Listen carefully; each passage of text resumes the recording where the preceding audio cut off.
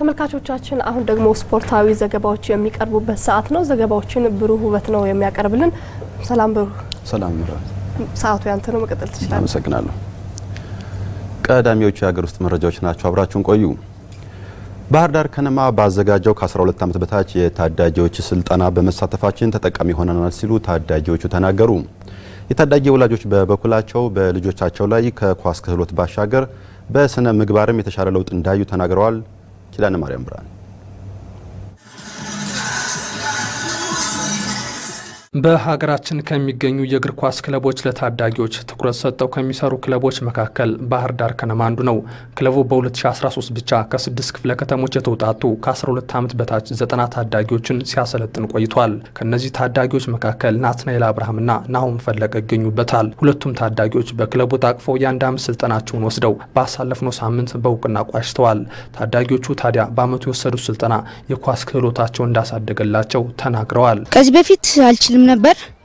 አሁን control ማድረግ ችያለሁ፣ pass ማድረግ ችያለሁ፣ ብዙ ነገር ችያለሁ። ከዚህ በፊት የነበረኝ እንቅስቃሴ ካሁኑ የአሁኑ እንቅስቃሴ በጣም ይሻላል። የሁለቱ ታዳጊዎች ወላጆች ባህር ዳር ከነማ እየሰራው ያለው ስራ እንደ ወላጅ ጠቅሞናል ይላሉ። ባህር ዳር ከነማ በዚህ በኩል ህጻናቶችን ከስር አንስቶ እንዲህ በማድረጉ በጣም ጥሩ ደረጃ ነው። በዚሁ ቢቀጥሉበት ደስ ይለኛል። ሌሎችም ገና እንደዚህ እንደነሱ ያልገቡትን ልጆችም እንደዚህ ወደዚህ እንዲያስገቧቸው በጣም ፍላጎት አለኝ። የስፖርት ፍላጎት አለው ልጁ። ሲቀጥል ደግሞ መጥፎ ቦታ ላይ ከሚውሉ ልጆች ስነ ምግባራቸው ተጠብቆ ያድጋሉ። ስልጠናው የታዳጊዎችን የኳስ ክህሎታቸውን ብቻ ሳይሆን ያሳደገው ስነ ምግባራቸውንም የተሻለ አድርጓል። የበፊቱ ብዙም ዲሲፕሊን አልነበረኝም። አሁን ግን በጣም ዲሲፕሊን አለኝ። አሁን ጎበዝኛለሁ። የአሰልጣኝ ድጋፍ ስላለ አሁን ጎበዝኛል። በጣም ብዙ ለውጥ አለሁ። በፊት ከነበረው ስነ ምግባር ምናምን፣ አሁን ግን በጣም ብዙ ለውጥ አለሁ። በጣም ጥሩ ደረጃ ነው ያለ። ከስፖርቱ ሲመለስ እንትን ይላል፣ ገላውን ይታጠባል ማንበብ ነው እና በቃ ስለ ኳሱ እንትን ስለሆነ በጣም ደስተኛ ነው ልጄ። በቃ ታዳጊዎቹ የወላጅ ድጋፍ ይደረግላቸዋል፣ ለዚህም ያመሰግናሉ። በጣም ትልቅ ድጋፍ ይደረግልኛል። እናቴንም በዚህ አጋጣሚ ያመሰግናል። ኳሱንም የሚያበረታቱኝ እናትና አባቶቼን አመሰግናለሁ። ወደፊት እኔ እንደ አሪሰን እንደ ሌሎች በረኞችም ከነሱ የተሻለ ለመሆን እጥራለሁ። ባህር ዳር ከነማ ነው መጫወት የምፈልገው። እንደነ ግርማ ዲሳሳ መሆን እፈልጋለሁ። ልጆች ነገ ለሀገር እንደሚጠቅሙም ወላጆች በተስፋ ይናገራሉ። ልጆች ከስር ተኮትኩተው ካደጉ ትልቅ ደረጃ ላይ ምክንያቱም አሁን የኔ ልጅ ያሬድ ነው። በቃ አሁን ስለ ያና ያሬድን ነው ስለ እነሱ ነው ጥሩ ነገር የሚያስ ምክንያቱም ከታች ያየውን ነገር ነው እና ለልጆች ትልቅ ነገር አለው፣ ለሀገር ትልቅ ነገር አለው።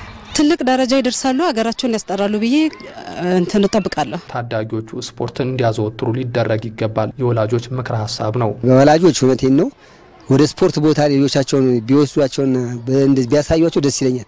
ምክንያቱም ከስነ ምግባር አንጻር በጣም ትልቅና ትልቅ ለውጥ አለው በስፖርት ላይ ልጆች በመዋላቸው ማለት ነው። ከሚያዩት ነገር ነው ልጆች ትንሽ ነገር ነው የሚያስደስታቸው፣ ከትንሽ ነገር ነው ጥሩ ነገር እንትን የሚሉት እና ወደ ስፖርት ቦታ ላይ ልጆቻቸውን ቢያዘወትሩ ደስ ይለኛል። ሌሎች ወላጆች ከአልባሌ ቦታ ልጆቻቸው ከሚውሉ ወደዚህ ወደ ስፖርት ቦታ እንዲያመጧቸው ይህንን መልእክት አስተላልፋለሁ።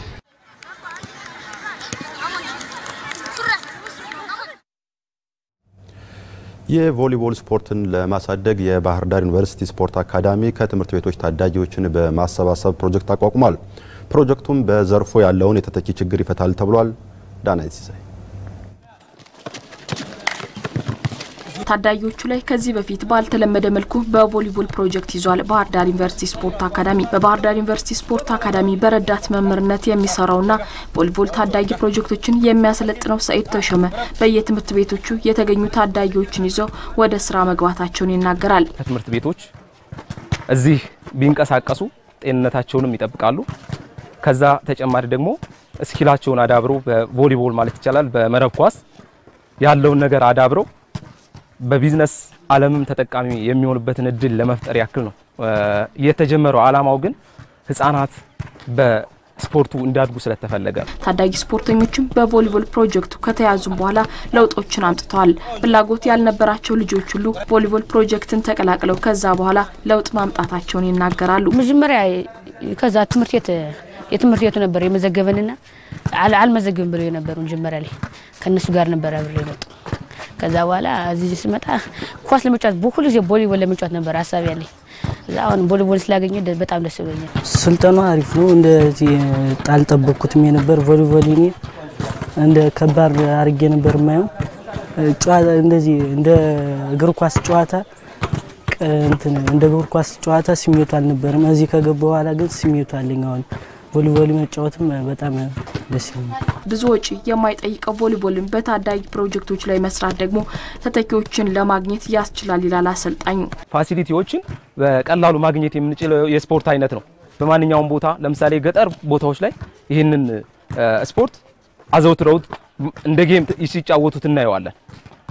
ስለዚህ ባህር ዳር ዩኒቨርሲቲ ደግሞ በዚህ ሰዓት መጀመሩ እንደ ትልቅ ነገር መቆጠር ያለበት ነገር ነው እና በዚህ ከቀጠለ ደግሞ ልጆች ወደ profession ኑ መጥተው እነሱ ተጠቃሚ የሚሆንበትንም ከዚህም በተጨማሪ ስፖርቱንም ከማስተዋወቅ አንጻር ልጆቹ በጣም ጥሩ አማራጭ ናቸው ብዬ አስባለሁ። ታዳጊ ሰልጣኞቹ ስልጠናቸውን አጠናክረው በመቀጠልም በሀገር አቀፍ ውድድር ላይ ለመሳተፍ ፍላጎታቸው ከፍተኛ ነው። ለወደፊት ሀገሬን ለማስጠራት እፈልጋለሁ።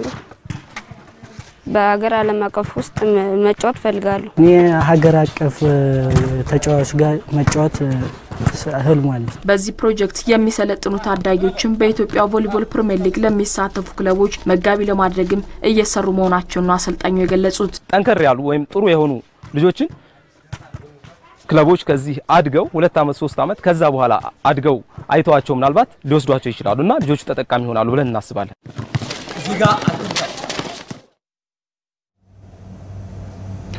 የኢትዮጵያ እግር ኳስ ፌዴሬሽን የውጭ ሀገር ተጫዋቾችን ቁጥር የሚገድብ ሕግ አወጣ። በ2014 የውድድር ዓመት የቤትኪንግ ኢትዮጵያ ፕሪሚየር ሊግ ተሳታፊ ክለቦች ከሶስት በላይ የውጭ ሀገር ዜግነት ያላቸው ተጫዋቾችን ማስፈረም እንደማይችሉ ነው የወሰነው። ከዚህ በፊት በአንድ ክለብ እስከ አምስት የውጭ ሀገር ዜግነት ያላቸውን ተጫዋቾች መጠቀም የሚችሉበት አሰራር ነበር። ይሁን እንጂ ከ2014 ጀምሮ ተግባራዊ የሚደረገው አዲሱ ሕግ የውጭ ሀገር ተጫዋቾች ቁጥርን ከአምስት ወደ ሶስት ይቀንሳል። ከዚህ በተጨማሪ ከፍተኛ ሊግና የአንደኛ ሊግ ክለቦች ምንም አይነት የውጭ ሀገር ተጫዋቾችን ማስፈረም የማይችሉ መሆኑን ነው እግር ኳስ ፌዴሬሽኑ የወሰነው። ይህ የፌዴሬሽኑ ውሳኔ የሀገር ውስጥ ተጫዋቾችን ለማበረታታት ያለመ ነው ሲል ፌዴሬሽኑ በማህበራዊ ትስስር ገጹ አስታውቋል።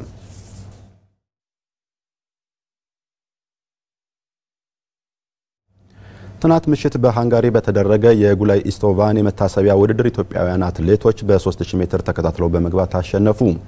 የወርቅ ደረጃ በሚሰጠው በዚህ ውድድር ሙክታር ኢድሪስ ቀዳሚ በመሆን አሸንፏል። ሙክታርን በመከተልም እስከ አምስተኛ ደረጃ ድረስ ሌሎች ኢትዮጵያውያን ተከታትለው በመግባት የበላይነታቸውን አሳይተዋል። ሙክታር ርቀቱን ለመጨረስ 7 ደቂቃ ከ30 ሴከንድ ከ96 ማይክሮ ሴከንድ ሲወስድበት በአራት ሴኮንዶች ዘግይቶ ታደሰ ወርቁ ሁለተኛ በመሆን አጠናቋል። አዲሱ ይሁኔ ሶስተኛ፣ ድንቅ አለማየለና ያሲን ሀጂ ደግሞ አራተኛና አምስተኛ በመሆን ውድድራቸውን ጨርሰዋል።